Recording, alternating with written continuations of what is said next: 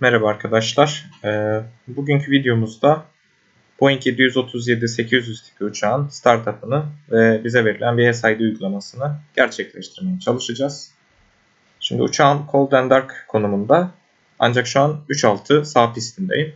Bunu yapmamam gerekiyor ama videoyu daha kısa tutmak için 3.6 pistinde e, başlamak durumunda kaldım. Şimdi hızlıca startup'ımızı yapalım. Şimdi öncelikle benim e, aküden güç almam için bataryayı çalıştırmam gerekiyor. Bataryamı açtım ve kapağını kapattım. Şu an uçağın elektrik sistemi, elektriği e, aküden gelmekte. Ancak bu akü çabucak bitebilen bir şey ve ben bunun bitmesini istemiyorum. Bu yüzden yardımcı güç ünitesi denilen APU'yu çalıştırmam gerekiyor. Peki APU'yu nasıl çalıştıracağım? Çalıştırmak için öncelikle tabi checkliste bakmak daha doğru olur ama e, fazla zaman kaybetmek istemiyorum. Çalıştırmadan önce bu kapağın off konumunda olması gerekmekte. APU bleed'in kapağı şu an off konumunda. Şimdi çalıştırmak için şu yakıt çubuklarından birisini açıyorum. Arka taraftaki yakıt çubuğunun birini açtım. Açtıktan sonra şurada bulunan APU başlangıç ünitesini on konumunu getiriyorum. 2 saniye bekledikten sonra start'a çekiyorum bu tuşu ve birazdan şuradaki yakıt basıncında değişim olacağını gözlemleyeceğim.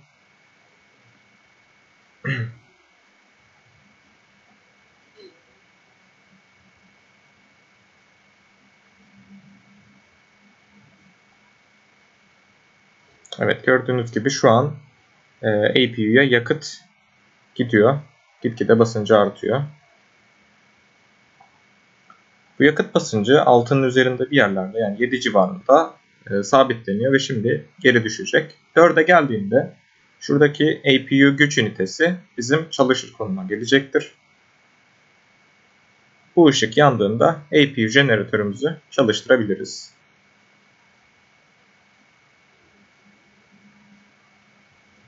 Evet gördüğünüz gibi ışık yandı. İkisini de on konumuna getiriyorum. Evet şu an uçağımın elektriği APU'nun yardımıyla sağlanmaktadır. Artık FMC'mi girmeye başlayabilirim. Şimdi sol üstte IRS sistemi var. Bizim navigasyonumuzun hani yönümüzü nasıl bulduğumuz burasıyla açıklanıyor. Daha detayına girmeyeyim. Şimdi bunları önce align ediyoruz. On DC yazısını gördük. Align'a geçtiğinde Navigation'a çevireceğiz. İkisi de Navigation. Şu an hemen soldan devam ediyorum. Yav damper'ım var. Yav damper'ımı off konumundan on'a getiriyorum. Evet bu da ışık söndü. On konumunda. Soldan devam ediyorum. Her şey uygun. Soldan sağ kontrol ediyorum. Yukarıdan aşağıya. Sistem bu şekilde. Şunlar benim ışıklandırmalarım açabilirim şu an. Gördüğünüz gibi harflerin ışığı yandı. Şu emergency exit lights'ı arm konuma getiriyorum. Buradaki ışık da söndü. Ardından soldan sağa devam ediyorum. Burada cam ısıtmalarım var. Bunları on konuma getiriyorum. Bunlar pitot, pitot tüpümün ısıtıcıları. Bunları aslında motoru çalıştırdıktan sonra on konumuna getirmem gerekiyor. O yüzden bekletiyorum. Onun dışında evet kapak bölmesindeyim. Isolation valve'ı auto konumuna getiriyorum. APU bleed'i de çalıştırdığım için artık bunun on konumunu alabilirim. Şimdi bu kısma uçacağımız irtifayı ve ineceğimiz irtifaya girmemiz gerekiyor. Ee, chart'a bakarak ona ulaşabiliyoruz. Sıfır yani deniz seviyesine ineceğiz yaklaşık olarak Antalya'da. Uçacağımız yükseklik ise 30.000 feet olsun. Tamamdır. Şimdi burası ışıklandırma bölümümüz. Logoyu on konumuna getiriyoruz. Position, Strobe and Steady, Anti-Collision'ı açıyorum. Ee, şimdi taksi yapacağım. Ondan dolayı Wheel Well'i açmam gerekiyor. Wheel Well on. Kalk, kalkmadan önce de Wing'i açacağım. Bunu kapatacağım. Şimdi APU çalışırken FMC'yi doldurmam gerekiyor benim. FMC'yi dolduralım. Enter IRS position diyor. Yani benim uçağımın konumunu belirtmem gerekiyor. O yüzden FMC'ye bastıktan sonra post init kısmına geliyoruz. Ve burada ilk bilgilerimizi girmemiz gerekiyor. Havalimanımız Lima Tango Bravo Alfa. Evet, gate'imizi yazmayalım çünkü direkt şeyde başladık pistte. Buradan sağa gelip e, GPS left'i alıyoruz. GPS GPS left'i aldıktan sonra previous page'e gelip set IRS position'a bunu kopyaladığımızda bizim ekranlarımız artık gelmiş durumda oluyor. Buradan sonra hemen şu route'a basıyorum. Evet route'a bastım. Origin. Kalktığımız yer bizim Atatürk Havalimanı'nın ICAO kodu. Destination. Varılacak noktamızsa bizim Antalya olacaktır. Yanlış oldu. Tamamdır. Buraya da Antalya'ya giriyorum. Tamam. Flight numarası falan çok önemli değil şu an. Şimdi bunları girdikten sonra benim departure ve arrival bilgilerine girmem gerekiyor. Departure dediğimiz bizim SID uygulamamız. Şimdi hemen bakalım hangi SID'yi uygulayacağımıza. Ben e, hazır bir rota almayı tercih ettim. İnternet üzerinden bulabilirsiniz. Şimdi buradan SID'mi ben EDAS'a bir Y olarak belirledim. Yani 3.6 pistinden kalkacağım. 75 derece sağa döneceğim.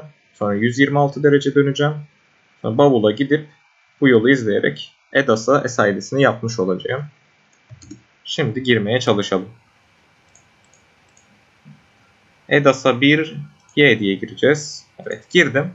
3-5 sol diyor. Ee, şu an sağdayız. O zaman EDAS'a 1Z girmemiz gerekiyor diye tahmin ediyorum. EDAS'a 1Z girelim.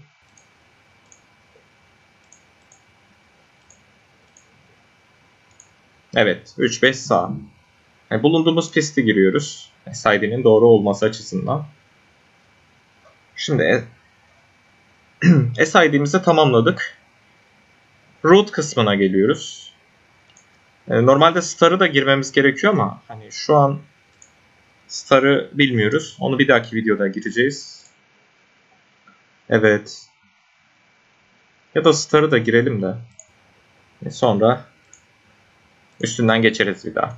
Şimdi star'ımı da ben chartlardan belirliyorum. Bu Antalya'nın chartı. Nereden geleceğim? Ben eksen 1A starını yapmak istiyorum.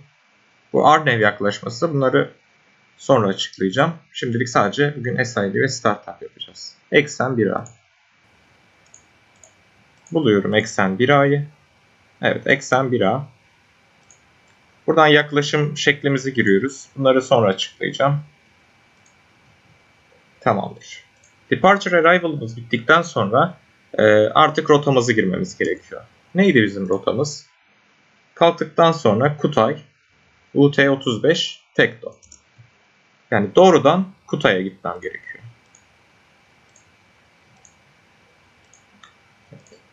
Tamam Kutay'a gittim. Kutay'a gittikten sonra UT35 yolunu izleyerek benim Tekdo'ya gitmem gerekiyor. UT35 yazdım. Bana bir den getirdim. Hani buranın üzerinden nereye gideceksin? Hemen Tekdo yazıyorum.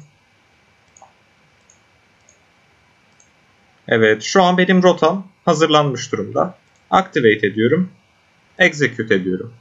Şu gördüğünüz yer mor olduysa bizim rotamız tamamdır demektir. Yani bilgisayar artık bunu okuyordur.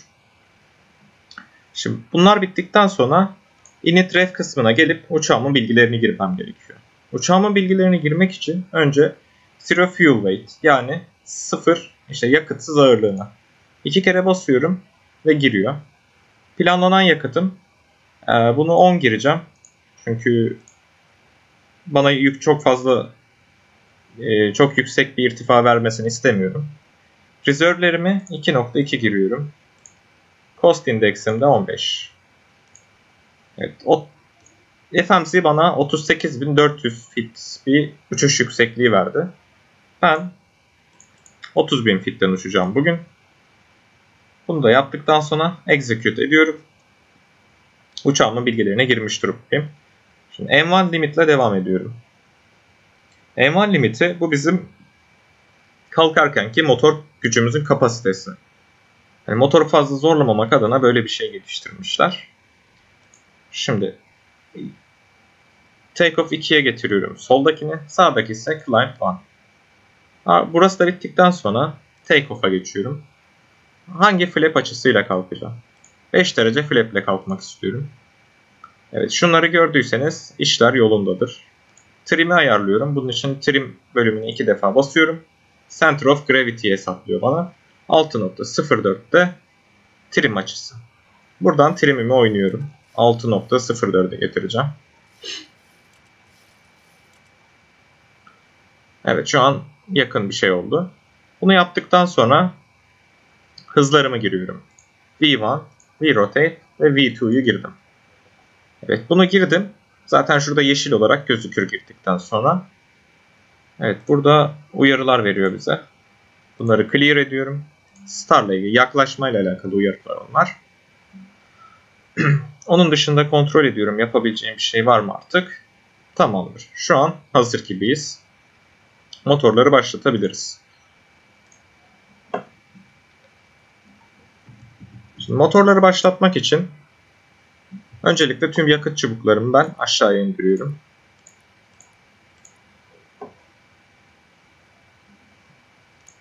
Runway ışıklarımı yaktım. Landing ışıklarımı yaktım. Şimdi gerekli kontrollerimi yapıyorum. Artık uçağın motorlarını çalıştırmak için hazır. Önce sol motordan başlıyorum. Ground konumuna getirdikten sonra ekranı inceliyorum. Tabi şunu şuraya alıyorum bu şekilde. Şurayı takip ediyorum. %20'yi geçtiğinde ateşlemeyi başlatacağım. Evet. Şu an birinci motoru çalıştırıyorum.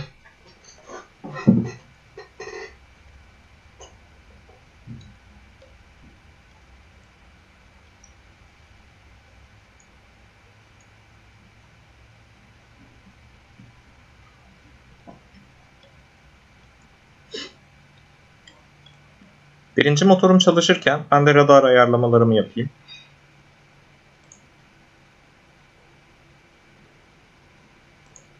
Şu kısımda ben işte haritamda neler görmek istiyorum bunları ayarlıyorum. Mesela terrain'e basınca terrain'e yeryüzü şekillerini gösterecek bana birazdan. İşte işte yüksek alanlar, alçak alanlar gibi.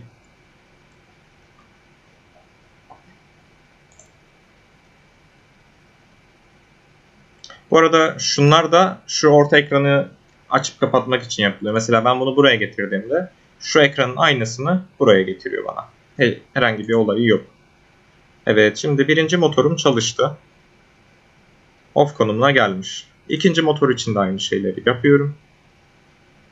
Takip ediyorum. Motor gücü artıyor.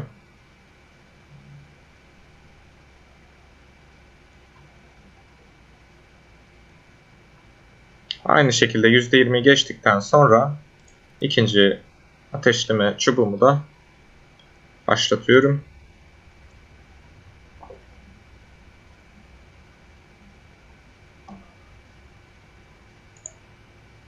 Şimdi motorlar çalışırken e, uçağın tekerlerindeki takozları kaldıralım. Onları kaldırmayı unutmuşuz. FS Actions kısmına gelip Ground Connections oradan Wheel Shocks Bunları kaldırıyorum.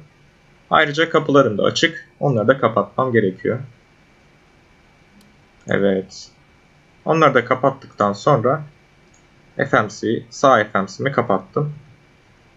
diğer motorum da çalışır konumda. Şu an taksi yapmadığım için aslında buna girmeme gerek yoktu ama kanat ışığını açıyorum. Açık konuma getiriyorum. Şimdi motorlarım çalıştığına göre benim artık APU'dan güç almama gerek yok. Ben motorların o dönme kinetik enerjisiyle elektrik enerjisi üretebilirim. O yüzden şuradaki jeneratör bölümünde jeneratör 1 ve jeneratör 2'yi çalıştırıyorum. Şu ışık yandığında artık APU'dan güç almıyorum demektir. O yüzden APU'yu kapatabilirim. Boşuna yakıt yemesin. APU'yu kapatmak için öncelikle APU'nun kapakçını off konumuna getiriyoruz. Ardından da APU'yu kapatıyoruz. Şu an APU'muz kapalı konumdadır. Onu kapattıktan sonra pitot ısıtıcılarımızı açıyoruz.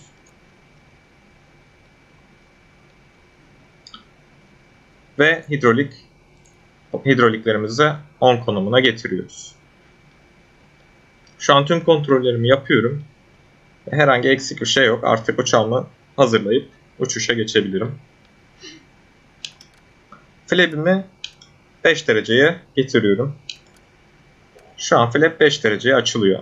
Bunu yaparken MCP kısmında otopilot ayarlayacağım. Kalktıktan sonra otopilot almam gerekiyor. Ancak öncelikle şu flight director'ları on konumuna getirmek durumundayım. Evet şurada flight director'ları gördünüz. Yani bu çalışıyor anlamına geliyor artık. Autotrust'ı açık konuma getireceğim.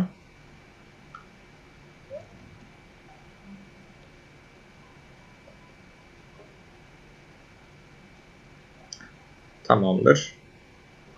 Şuradaki MCP hızımızı ne giriyoruz? V2'nun V2'yu kaç girmiştik hatırlamıyorum şu an. V2'nun 5 fazlası girmemiz gerekiyor. Yani 151 gireceğim.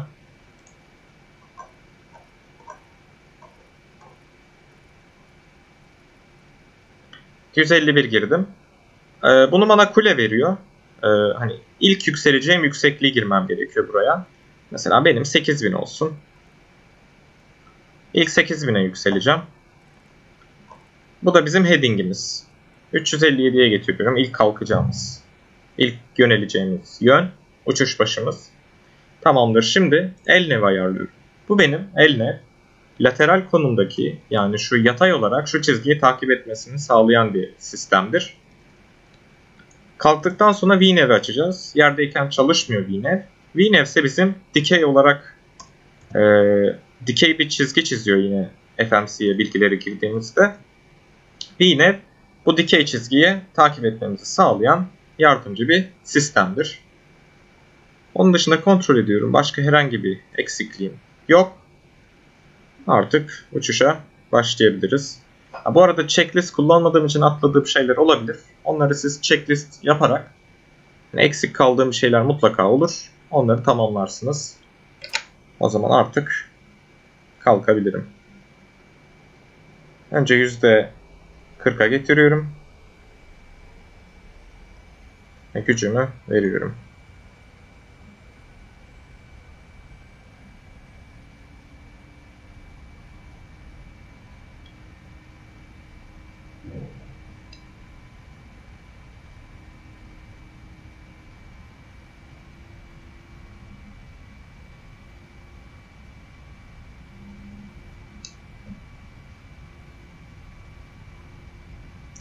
Evet şu an bir gözümde hız bandında.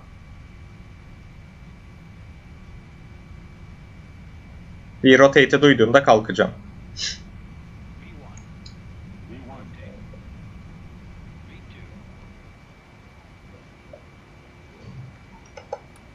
Tekerlerimi kapatıyorum.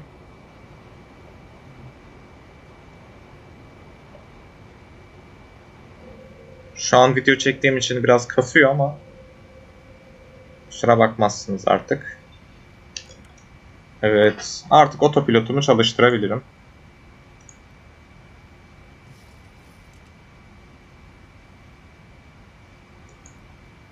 Tamamdır. Elnev ve VNev çalışmakta şu an. Kapatalım. Şu an otopilotu kurdum. Yapmam gereken tek şey uygun hıza geldiğinde lab'imi bir seviye kapatmak.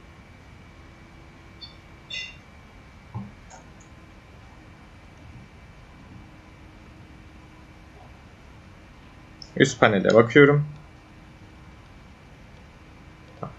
Her şey düzgün.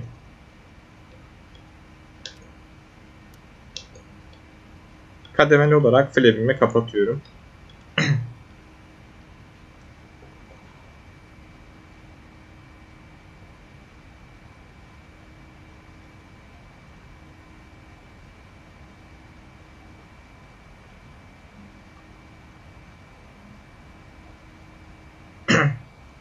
Şimdi tekerlerimi kapattım. Ancak benim bunu kilitlemem gerekiyor. Kilitlemek için bu çubuğun orta seviyede olması gerekiyor.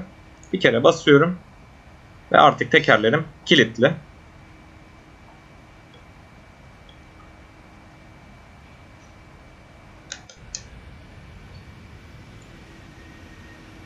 Evet.